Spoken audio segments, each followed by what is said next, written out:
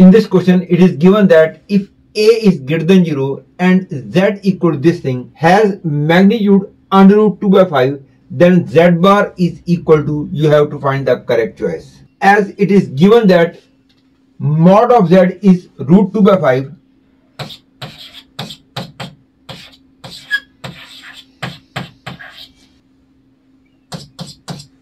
hence we conclude that mod of this is root 2 by 5 mod of 1 plus i whole square upon a minus i is equal to root 2 by 5 and we know two formulas that if alpha and beta are two complex numbers mod of alpha by beta is same as mod alpha by mod beta. And second thing is mod of alpha square is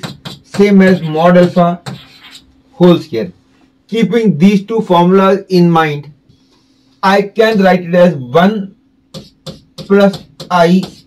whole square upon mod of a minus i equal to root 2 by 5 and this is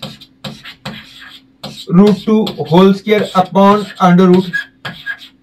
a square plus 1 equal to under root 2 by 5 that is I get under root a square plus 1 as root 10 which means a square plus 1 equal to 10 that is the value of a is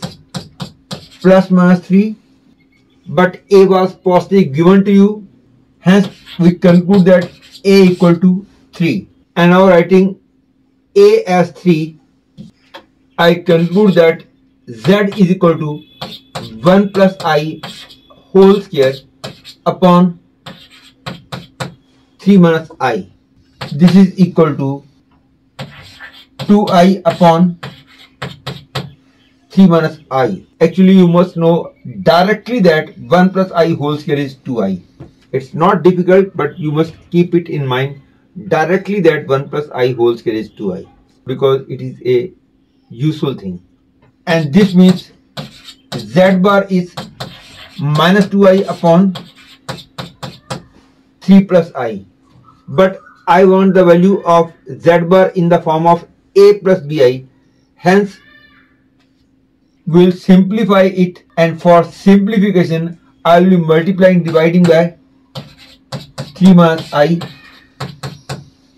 that is z bar is minus 1 by 5 minus